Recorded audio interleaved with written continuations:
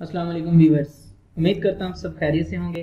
आज हम आपको सिखाएँगे कि eleventh class Peshawar board physics के पास पेपर आप किस तरह से डाउनलोड या सेव कर सकते हैं। ये लिंक वीडियो के डिस्क्रिप्शन में मौजूद है। जैसे ही आप इस लिंक पर क्लिक करेंगे तो आप इस पेज पर आ जाएँगे, जहाँ आप देख सकते हैं कि फिजिक्स के यहाँ तमाम पास पेपर मौजूद हैं।